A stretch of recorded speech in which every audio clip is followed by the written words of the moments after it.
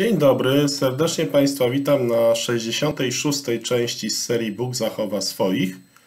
Kiedy zostaliśmy zbawieni, to zostaliśmy zapieczętowani. Taka jest główna teza tego nagrania. List do Efezjan, pierwszy rozdział, 13 werset.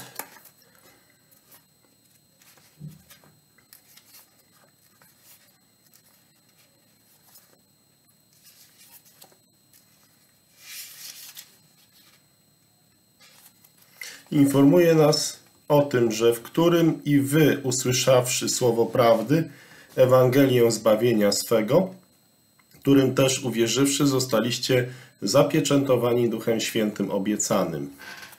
Więc widzimy tutaj wyraźnie, że Duch Święty został obiecany i że ten, kto usłyszał słowo prawdy Ewangelii zbawienia swego, którym też uwierzywszy, czyli nie tylko zostało usłyszane to słowo, ale także uwierzone, zostaliście opieczętowani Duchem Świętym. Drugie miejsce, które tutaj wspomnę, to jest czwarty rozdział listu do Efezjan, 30 werset.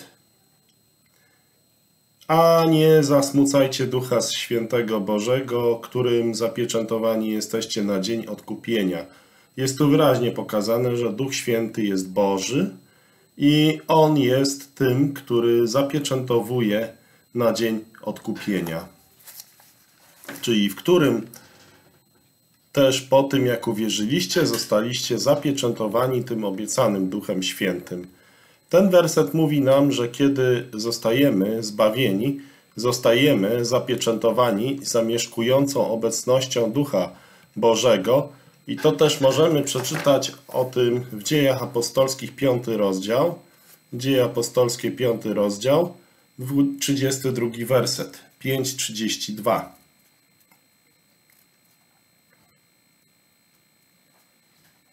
Dzieje apostolskie, 5 rozdział, 32 werset informuje nas o tym w następujący sposób a myśmy świadkami Jego w tym, co mówimy, także i Duch Święty, którego dał Bóg tym, którzy są Mu posłuszni. I także Rzymian 5 rozdział, 5 werset. Rzymian 5 rozdział, 5 werset.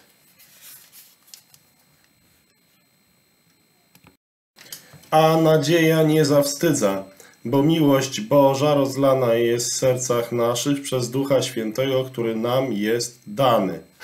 Czyli widać wyraźnie, co mówi Słowo Boże, że ten Duch Święty jest dany. Także pierwszy Tesaloniczan, czwarty rozdział, ósmy werset. Pierwszy Tesaloniczan, czwarty rozdział, ósmy werset. A przetoż kto odrzuca, to odrzuca nie człowieka, ale Boga, który nam też dał Ducha swego Świętego. I tak jak czytaliśmy, list do Efezjan, czwarty rozdział, 30 werset, dodał jeszcze, że jesteśmy zapieczętowani na dzień odkupienia. Aspekt odkupienia w tym wersecie dotyczy naszych ciał. Ciał. Ciał, bo człowiek składa się z ducha, duszy i ciała. I ten aspekt odkupienia dotyczy w tym wersecie naszych ciał, gdy Pan Jezus przyjdzie po nas w trakcie pochwycenia. I też mamy o tym wspomniane w Rzymian 8 rozdział 23 werset. Rzymian 8 rozdział 23 werset. A nie tylko ono, ale i my, którzy mamy pierwiastek ducha, i my sami w sobie wzdychamy, oczekując synostwa odkupienia ciała naszego. Czyli jest tutaj pokazany kontrast. Kontrast, który mówi, że nie tylko stworzenie wzdycha, ale i my, którzy mamy pierwiastek ducha. Odkupienie oznacza nie tylko bycie odkupionym, ale także uwolnionym. Obecnie nasze dusze są odkupione, bo tak mówi słowo Boże, na przykład w Rzymian 3 rozdział 24 werset, Rzymian 3:24 i bywają usprawiedliwieni darmo z łaski Jego przez odkupienie w Chrystusie Jezusie. Oraz Efezjan 1:7 Efezjan, pierwszy rozdział, siódmy werset. Którym mamy odkupienie przez krew Jego, odpuszczenie grzechu według bogactwa łaski Jego. Więc nasze dusze są odkupione, ale w owym dniu całe nasze dusze zostaną uwolnione od skutków grzechu i będziemy uwielbieni na wzór Chrystusa. O czym mówi także Rzymian 8 rozdział 30 werset. Rzymian 8 rozdział 30 werset.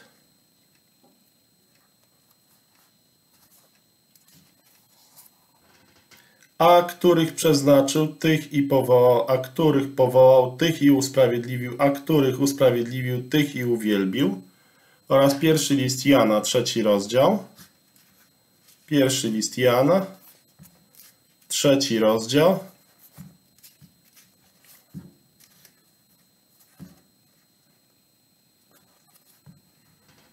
Drugi werset. Najmilsi teraz dziadkami bożymi jesteśmy i jeszcze się nie objawiło, czym będziemy. Lecz wiemy, że gdy się objawi, podobni mu będziemy, albowiem ujrzymy go tak, jak on jest. I także Filipian 3,21, list do Filipian, trzeci rozdział. List do Filipian, trzeci rozdział, 21 werset, który przemieni poniżone ciało nasze, aby się stało podobne chwalebnemu ciału Jego według skutecznej mocy, którą też wszystko podbić sobie może. Oznacza to, że Duch Boży, który pieczętuje nas, gdy uwierzymy, nigdy nie opuszcza nas przez całe nasze życie.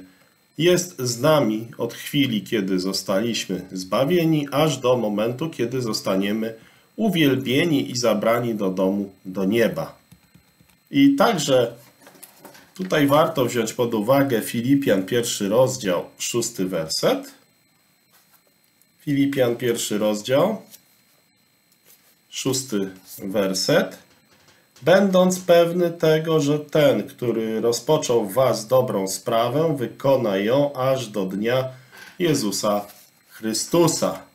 Czyli widzimy wyraźnie, Paweł pisząc do Filipian, pisał, że jest pewny, że ten, czyli Bóg, który rozpoczął was, czyli w Filipianach, dobre dzieło, wykona je, dokończy je.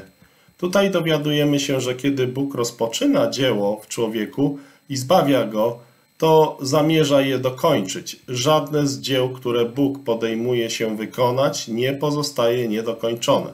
Dotyczy to również zbawienia. Jeśli Bóg rozpoczyna w kimś dzieło, to zamierza je dokończyć i przyprowadzić tę osobę bezpiecznie do domu, do nieba, aż do dnia Jezusa Chrystusa. Także warto wziąć pod uwagę Hebrajczyków 13 rozdział 5 werset. Hebrajczyków 13 rozdział 5 werset.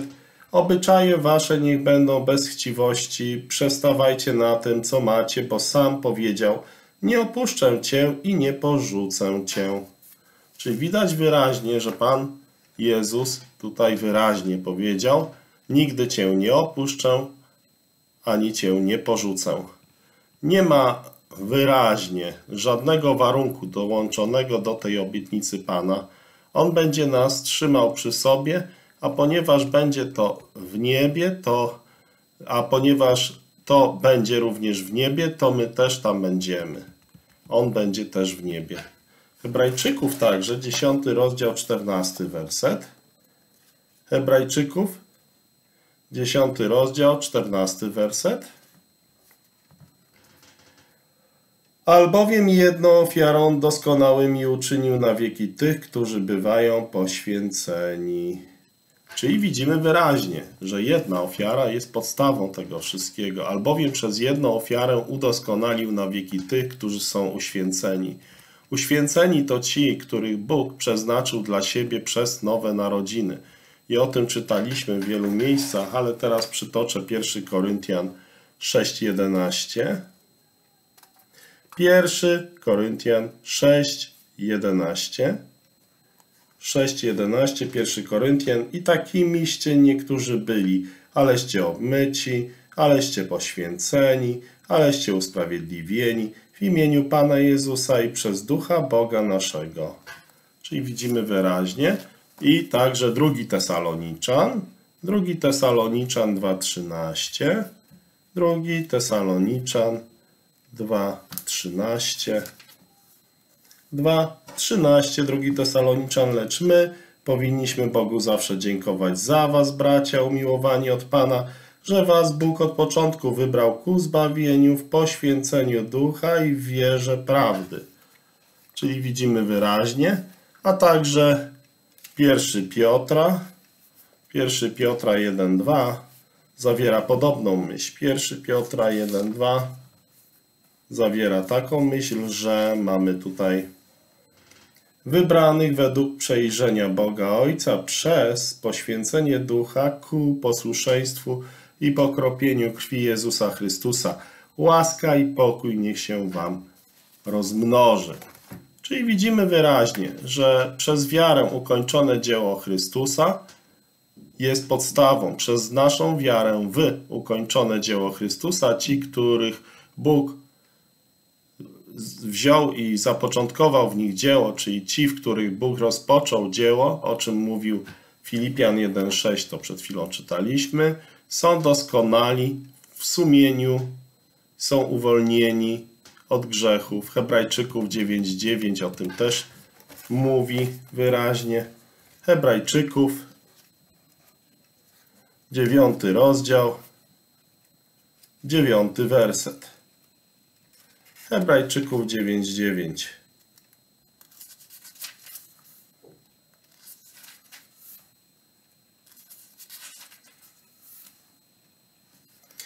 który był obrazem na teraźniejszy czas, którym bywają składane ofiary, dary i ofiary, nie mogące według sumienia doskonałym uczynić tego, który służbę Bożą odprawia, a także 10.1.2.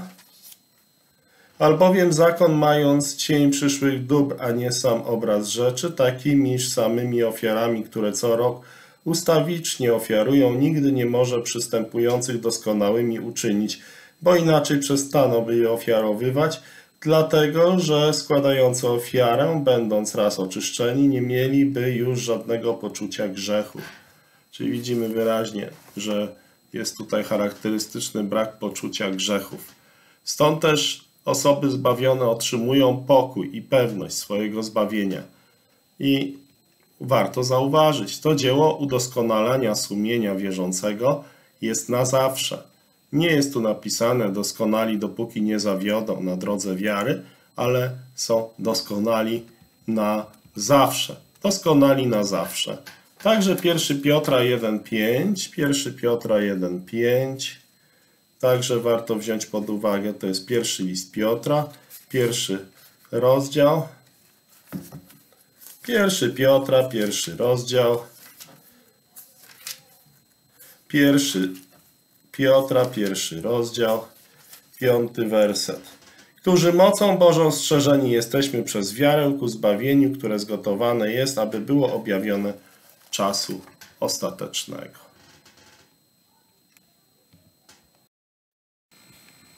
Jeśli czytamy, że którzy są zachowani mocą Bożą przez wiarę ku zbawieniu, które ma być objawione w czasie ostatecznym, to widzimy, że ten fragment mówi nam wyraźnie, że y, tutaj możemy mieć tą pewność. I ten fragment mówi o tym, że Bóg zarezerwował dla wierzącego dziedzictwo w niebie i że jest on zachowany dla niego, zachowane to dziedzictwo jest dla niego i że wierzący jest zachowany dla Boga na ziemi mocą Bożą. Aspekt zbawienia, o którym tutaj mowa, nie jest zbawieniem duszy, gdy ktoś wierzy w Ewangelię, bo to też jest prawda, ale raczej zbawieniem, które wierzący otrzymuje na końcu drogi. Kiedy Pan Jezus Chrystus przyjdzie w czasie pochwycenia, On uratuje nas z tego świata zepsucia. I to możemy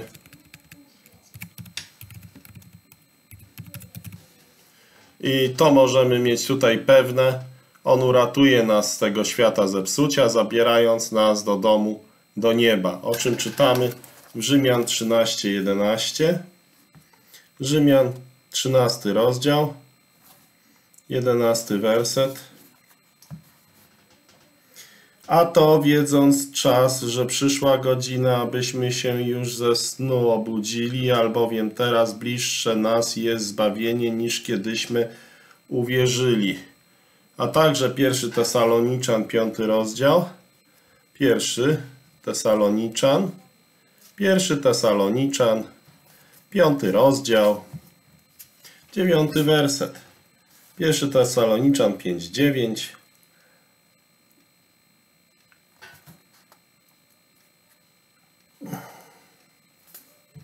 Pierwszy Tesaloniczan 5:9, gdyż Bóg przeznaczył nas nie na gniew, ale na pozyskanie zbawienia przez Pana naszego Jezusa Chrystusa. Także Hebrajczyków 9:28, Hebrajczyków 9:28.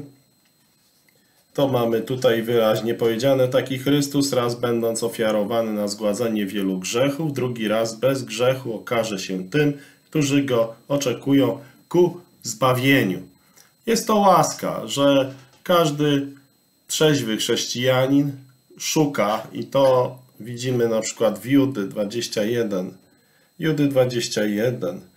Siebie samych miłości Bożej zachowajcie, oczekując miłosierdzia Pana naszego Jezusa Chrystusa ku życiu wiecznemu. Ten fragment, ten werset z pierwszego Piotra wyraźnie mówi, że jesteśmy zachowani mocą Bożą do tego momentu. Także mamy pierwszy list Jana, pierwszy list Jana, drugi rozdział, pierwszy werset. Pierwszy list Jana, drugi rozdział, pierwszy werset. Dziadki moje, to wam piszę, abyście nie grzeszyli, a jeśli by kto zgrzeszył, mamy orędownika u Ojca Jezusa Chrystusa Sprawiedliwego. Pierwszy list Jana, drugi rozdział, pierwszy werset. Dzieci moje małe, to wam piszę, abyście nie grzeszyli, a jeśli by kto zgrzeszył, mamy orędownika u Ojca, Jezusa Chrystusa Sprawiedliwego. I tutaj ten werset mówi nam, że jeśli wierzący grzeszy i zawodzi na ścieżce, w jakiś sposób Pan Jezus działa jako jego orędownik – aby przywrócić go do społeczności z Bogiem Ojcem. Adwokat to ktoś, kto zajmuje się wszystkimi sprawami swojego klienta. Jako nasz orędownik Pan podejmuje naszą sprawę przed Bogiem Ojcem, aby nas przywrócić. Najpierw wskazuje, że na krew i, że tak powiem, mówi, to jest oczywiście parafraza, to Pan Jezus tak nie powiedział wprost, to jest moja interpretacja, jakby coś takiego mówił. Ja zapłaciłem za ten grzech. Co oznacza przebłaganie. To mówił właśnie werset drugi pierwszego listu Jana 2:2. On jest ubłaganiem za grzechy nasze, a nie tylko za nasze, ale też za grzechy całego świata. Następnie on zaczyna pracować nad naszym sumieniem, aby wzbudzić w nas skruchę, która prowadzi do wyznania, że uczyniliśmy coś złego, przez co zostajemy przywróceni do społeczności, o czym mówi pierwszy list Jana, pierwszy rozdział, dziewiąty werset. Jeśli wyznajemy grzechy swoje, wierny jest Bóg i sprawiedliwy, aby nam odpuścił grzechy i oczyścił nas od wszelkiej nieprawości.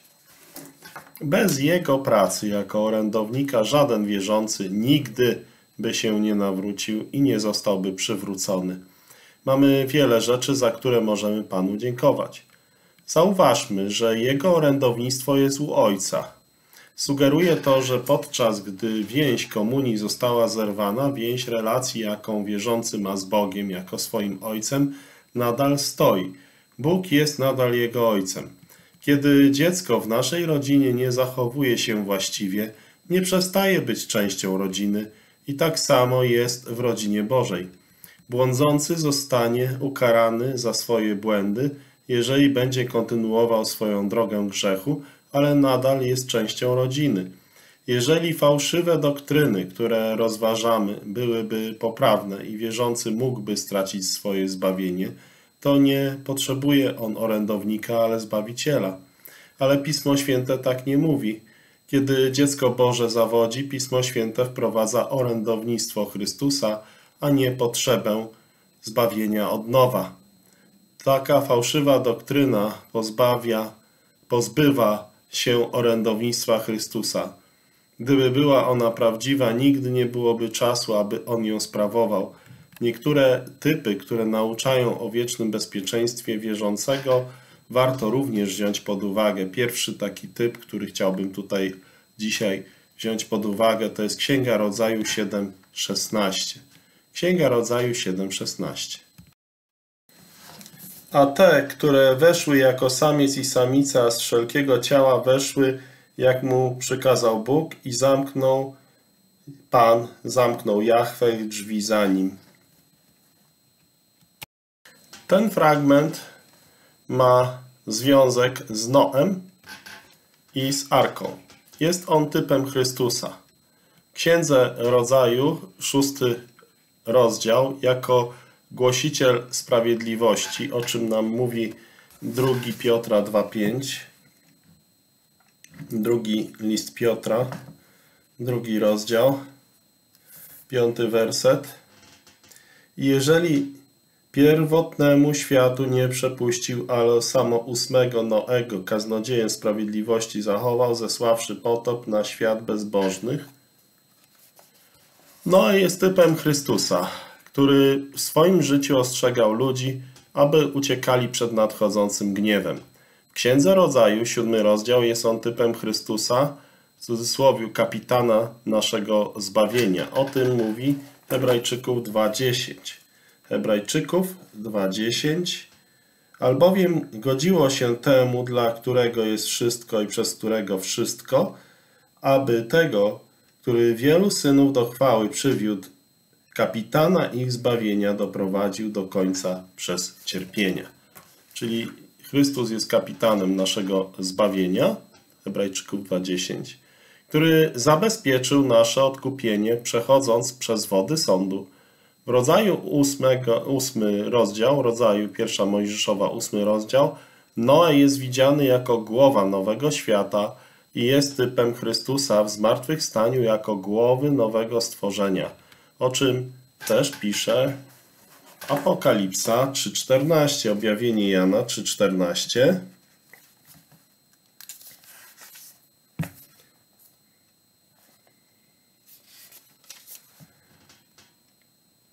I do anioła zboru laodycejskiego napisz, to mówi Amen, świadek wierny i prawdziwy, początek stworzenia Bożego.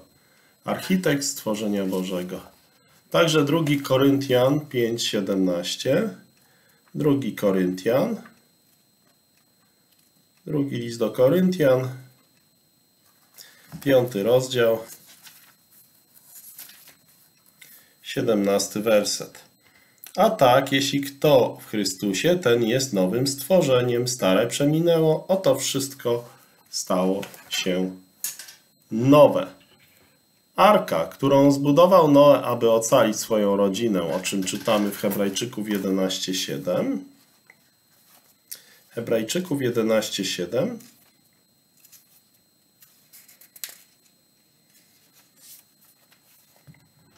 Wiarą Noę otrzymawszy zbawienie o tym, czego jeszcze nie można było widzieć, bogobojnie przygotował korab dla ocalenia domu swego, przez którą potępił świat i stał się dziedzicem sprawiedliwości, która jest z wiary. I to mamy wyraźnie powiedziane. Jest Noe właśnie tutaj bohaterem tego typu, ale Arka też jest typem. Arka, którą zbudował Noe, aby ocalić swoją rodzinę, jest typem dzieła pojednania, którego Chrystus dokonał na krzyżu, aby ocalić wszystkich, którzy są w rodzinie Bożej. Każdy, kto do niej wszedł, był bezpieczny i zabezpieczony przed wodami sądu, które spadły na ziemię. Aby uczynić arkę nieprzepuszczalną dla żywiołów, miała ona smołę, smołę, zarówno wewnątrz, jak i na zewnątrz. Słowo smoła jest tym samym słowem co pokuta. W języku oryginalnym jest ono tłumaczone w innych miejscach jako właśnie pokuta. Podwójna powłoka pokuty, podwójna powłoka smoły na arce mówi o podwójnym aspekcie dzieła Chrystusa w odkupieniu. Po pierwsze było to przebłaganie, o czym czytaliśmy już w pierwszym liście Jana, drugi rozdział, drugi werset. Pierwszy list Jana, drugi rozdział, drugi werset. I on jest ubłaganiem za grzechy nasze, a nie tylko za nasze, ale też za grzechy całego świata. Oraz pierwszy list Jana 4,10. 4,10. W tym jest miłość nie, że my umiłowaliśmy Boga, ale że On nas umiłował i posłał Syna swego dla ubłagania za grzechy nasze. I to przebłaganie, które zaspokoiło święte roszczenia Bożej Sprawiedliwości wobec grzechu, ale także zastępstwo, o czym czytamy w Hebrajczyków 9:28. Hebrajczyków 9 rozdział 28 werset. Taki Chrystus raz będąc ofiarowany na zgładzenie wielu grzechów, drugi raz bez grzechu okaże się tym, którzy go oczekują ku zbawieniu. Także 1 Piotra 3,18, 1 Piotra 3,18. Bo i Chrystus raz za grzechy cierpiał sprawiedliwy za niesprawiedliwych, aby nas przywieść do Boga, będąc zabity co do ciała, a ożywiony co do ducha. I tutaj widać, że to zastępstwo, które odnosi się do Chrystusa zajmującego miejsce wierzącego w sądzie.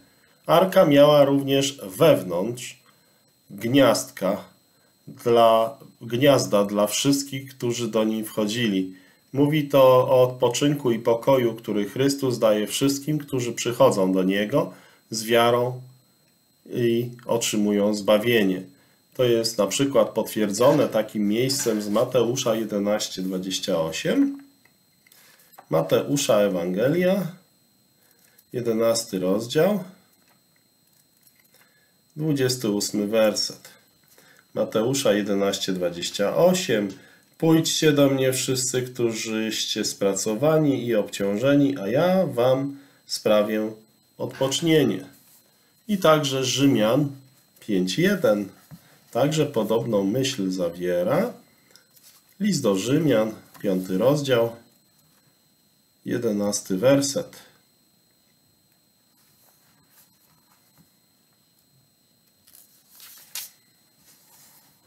A nie tylko to, ale się też chlubimy Bogiem przez Pana naszego Jezusa Chrystusa, przez któregośmy teraz pojednanie otrzymali. W tym typie chodzi nam o to, że kiedy Noe i jego rodzina weszli do arki, jest napisane i zamknął go Pan, o czym czytaliśmy w rodzaju 7:16, że Pan zamknął te wrota arki. Kiedy drzwi zostały zamknięte, nie ma wzmianki o tym, że ktokolwiek, yy, że kiedykolwiek, że kiedykolwiek te drzwi zostały jeszcze ponownie otwarte. Tak mocno były zamknięte, że gdy nadszedł czas, by odkupiona rodzina wyszła, musieli rozebrać arkę, o czym też czytamy w rodzaju 8:14. Zatem dziękuję Państwu serdecznie za uwagę. Proszę czytać Biblię, Słowo Boże, bo tam jest tylko zawarte to, co dla nas jako ludzi jest istotne w kwestii wiecznego bezpieczeństwa. Kto jest raz zbawiony, jest na zawsze zbawiony. Tylko w Panu Jezusie Chrystusie jest ratunek przed należną Tobie karą piekła wiecznego. Dziękuję Państwu za uwagę. Z Bogiem.